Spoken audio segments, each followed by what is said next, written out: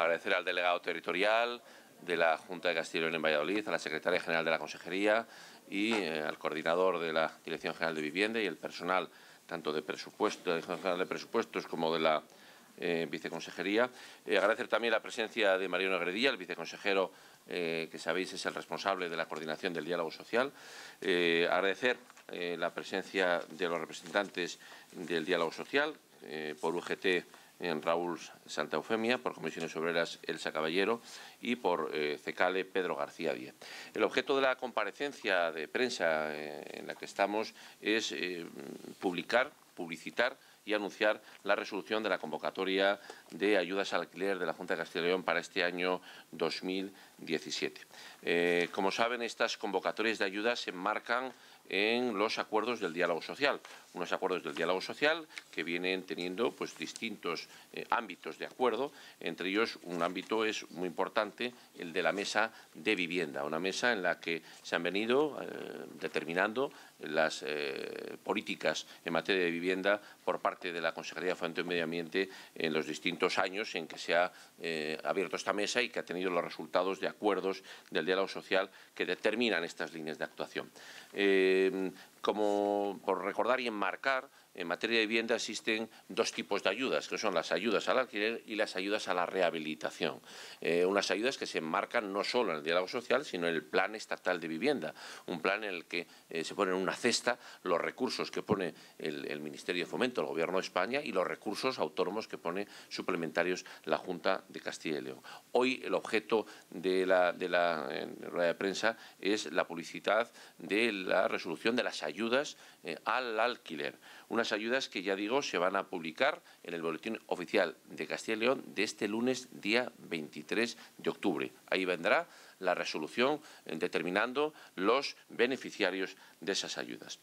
Vamos a hacer un, eh, bueno, pues un relato de, eh, ahí en la proyección, una proyección que vais a tener a disposición en la, en la, en la web. Eh, bueno, está el marco normativo, ¿eh? el objeto de las ayudas es eh, subvenciones que se dan a las personas eh, para tener bueno, pues una colaboración económica pública en el pago de la renta para favorecer, insisto, ese derecho fundamental a la vivienda para las poblaciones con menos recursos. Es decir, las ayudas son absolutamente dirigidas en toda su configuración a que llegue a los que más las necesitan. Los beneficiarios, como sabéis, son las personas físicas mayores de vivienda que tengan un contrato de arrendamiento con una determinada renta limitada es decir, no es para cualquier contrato, son contratos que están determinados pues, de entre 350 euros al mes a 475 según las poblaciones y conforme a los índices de precios del mercado del alquiler. Son personas que no pueden ganar más de 2,5 veces el IPREM, eh, pero que eh, desde la convocatoria extraordinaria del año 2015 de finales no tenemos un límite mínimo en las convocatorias antiguas había, tenían que ganar al menos una cuantía igual a Unipren. Eso lo eliminamos conforme a los acuerdos del diálogo social en 2015 y esta convocatoria, por tanto, es tributaria de esa eliminación y seguimos con ese, con ese carácter.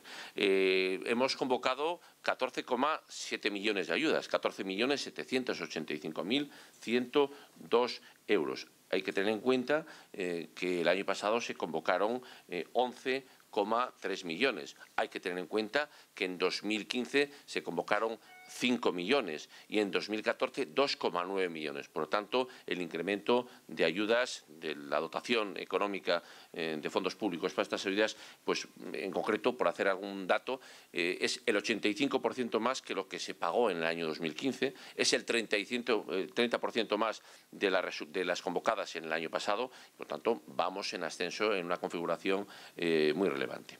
Las, ayudas que las solicitudes que se han presentado, perdón, han sido 18.305 solicitudes, es decir, 18.305 solicitudes, de las cuales, una vez analizadas, las que eran concordes con la con la convocatoria eh, han sido 12.768 las que cumplen los requisitos. El 70% de las, de, eh, solicitudes son correctas, cumplen los requisitos y, por tanto, pueden beneficiarse de esa ayuda. 5.537 solicitantes no cumplían esos requisitos, en torno al 30% de las ayudas. Pues el incumplimiento deriva eh, pues, de tener, por ejemplo, pues una vivienda a disposición en propiedad o su fruto, de no ser, por lo tanto, una única vivienda eh, alquilada, de tener unos ingresos superiores a los previstos en la norma, de los, el, importe de los alquileres que pagan es superior a los previstos para ser beneficiarios de las ayudas, es decir, objetivamente no cumplen esos, esos requisitos.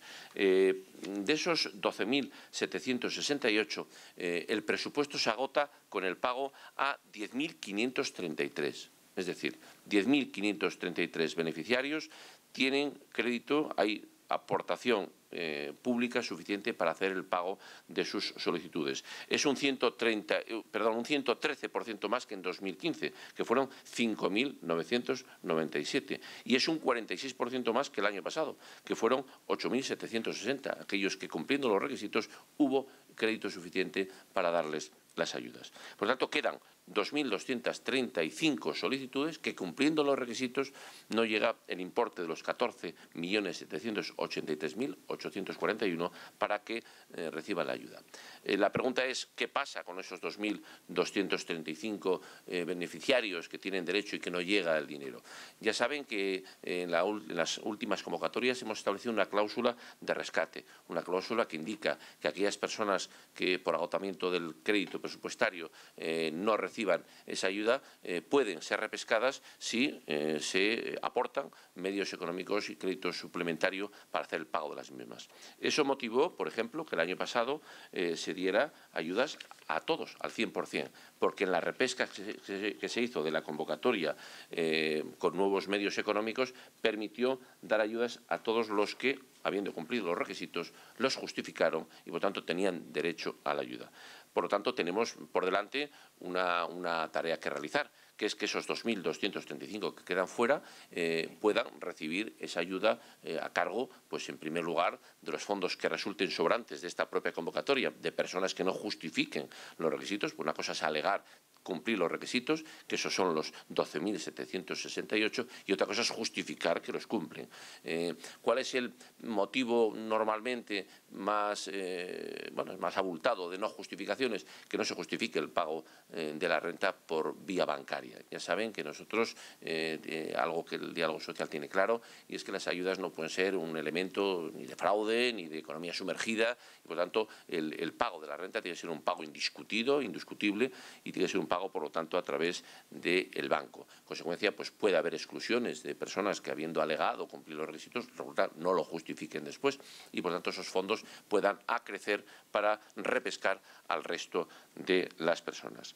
Se mantienen en esta convocatoria, como, todos sabéis, eh, las, mejoras que se introdujeron en el año 2016. No se fijan, repito, esos ingresos mínimos, eh, las subvenciones hasta el 40% de la renta, con un máximo de 2.280 eh, euros al año eh, y prevé esa cláusula de rescate que hemos, que hemos comentado.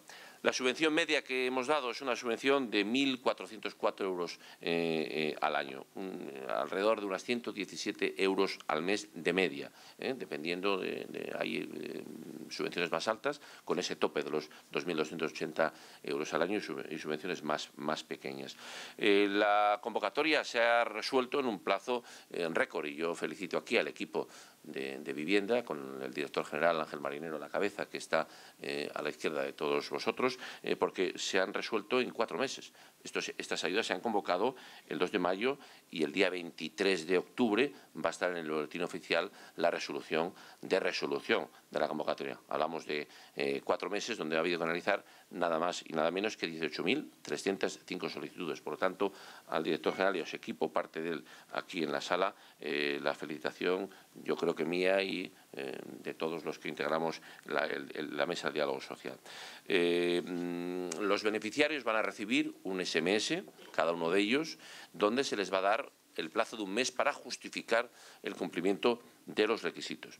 Eh, la información va a estar también disponible en el 012, va a estar disponible en las delegaciones territoriales, en los servicios de fomento, va a estar disponible en la página web de, la Junta de Castellón, por lo tanto, eh, va a ser una información personal a cada uno de ellos y muchos medios donde pueda informarse el beneficiario de qué es, cómo tiene que hacer esa justificación, pero que bueno, es harto, sencilla. Eh, y bueno, pues en principio esa es la configuración.